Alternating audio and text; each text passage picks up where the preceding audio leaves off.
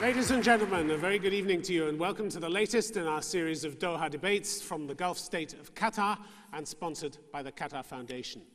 In Iraq, in Pakistan, in Lebanon, the high levels of violence have told the story of sectarian warfare. The two largest denominations in Islam, Sunni and Shia, killing each other and even destroying their places of worship. Most Muslims have looked on in horror, many believing their religion was being hijacked by extremists. But in the West, the sight of violence by Muslims against Muslims has caused significant alarm and fear. Hence our motion tonight. This House believes that the Sunni Shia conflict is damaging Islam's reputation as a religion of peace.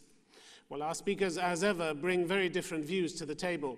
Speaking for the motion, Juan Cole is Professor of History at the University of Michigan and the author of one of the most influential blogs on the Middle East, Informed Comment, He's also author of the book Sacred Space and Holy War The Politics, Culture, and History of Shiite Islam. And with him, General Ali Shukri, former military and intelligence advisor to the late King Hussein of Jordan. He's had a wide range of contacts in Iraq over many years and was an associate member of St. Antony's College, Oxford. Against the motion, Imam Sayid Hassan al Qazwini, who leads the largest mosque in the US, which is also the oldest Shia mosque in the country, Detroit's Islamic Center of America. Born in Karbala, Iraq, he went on to study in Iran. He's the author of American Crescent, a book about the Islam in the US. Also against the motion, Dr. Hisham Hellyer, fellow of the Oxford Center for Islamic Studies. Following the July 7th bombings in London, he was nominated deputy convener of the British Home Office Working Group on tackling extremism and radicalization. Ladies and gentlemen, our panel.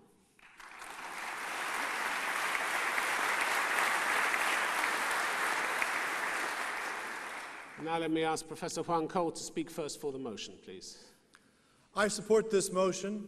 As someone with enormous respect for Islam, it has pained me to see the ways in which its reputation has been deeply damaged by the violence in Iraq, by the Sunni on Shiite and the Shiite on Sunni violence, and I enter into evidence a statement of the former majority leader of the U.S. Senate, Senator Trent Lott, who in 2006 said, It's hard for Americans, all of us, including me, to understand what's wrong with these people. Why do they kill people of other religions because of religion? Why do they hate each other? Why do Sunnis kill Shiites? How do they tell the difference? They all look the same to me. There is an element of criticism, there's an element of the humiliation of Islam in what the senator said. In 2006, also, a major poll found that 58% uh, of Americans be, uh, agreed with the statement compared to other religions. Do you think there are more violent extremists within Islam?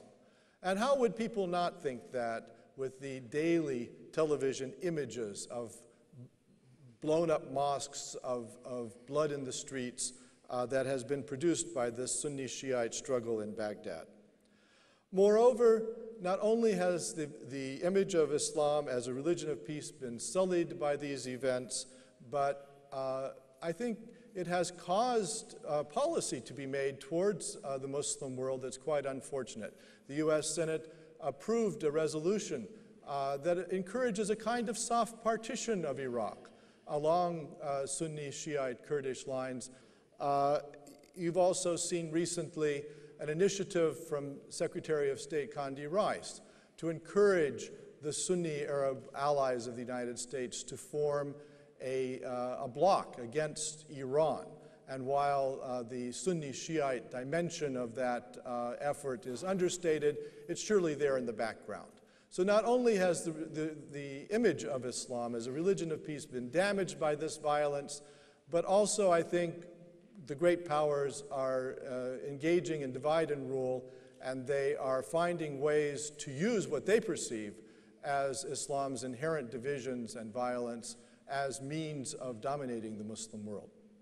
Professor Cole, thank you very much indeed. I want to draw your attention to the Pew Global Attitudes Report last year, which said that Majorities in Europe, France, Canada, the US, and Russia, as well as Spain and Poland, had either a somewhat favorable or very favorable view of Muslims. That doesn't sound like uh, a religion that's uh, showing a big dent in its uh, reputation. It's a snapshot. After September 11th, over 60% of Americans said that they had a favorable view of Islam. That's now down to 42%.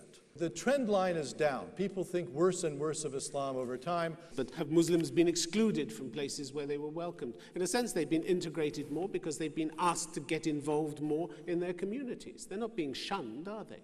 So, where is, where is the damage to the reputation if they are being embraced more by society rather than being pushed out? Well, they're not being seen as, as peaceful people, and, and they are being excluded. For instance, U.S. immigration policy clearly is attempting to exclude Muslims in a way that was not true uh, in, in past uh, decades. We've just seen 900 hotels across America cancel advertising on a radio channel because this channel was deemed to be hostile to Islam. Well, it's not allowed in the United States to openly uh, advocate uh, discrimination against people on the basis of religion. It's even in federal law and there will be a reaction against that. However, it is very clear that very large numbers of, of Americans are beginning to see Muslims as inherently violent. In fact, we've, we've, we've had a rash of preachers, John Hagee, who, who endorsed uh, Senator McCain for president, came out and said that uh, the Quran instructs Muslims to kill uh, non Muslims. But that's a infidels. bandwagon. That's a political bandwagon just to leap on. Well, it's a kind of. Uh, it's, it's the age of the bigot, isn't it? It's a kind of new all religions libel. are under pressure. They're all feeling the pinch. It's a kind of new blood libel. Imagine, you know, it's going to, that kind of thing is going to end up getting people killed. I mean, some Muslim somewhere is going to be targeted as a Professor potential Cole. murderer. Professor Cole, thank you very much indeed. Imam Hassan Qazwini, could I ask you please to speak against the motion? Well, I, I always admire uh, Dr. Cole for what he says and for, for what he writes but I have to disagree with him tonight. First, I don't believe that there is a conflict between Shia and Sunnis.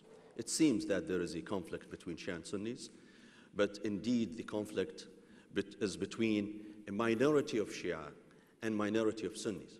The extremists, the fanatics, the majority of Shia and Sunnis get along and they are peaceful. And in regard of the second part of the argument, I would say that Islam still has great reputation even in the West.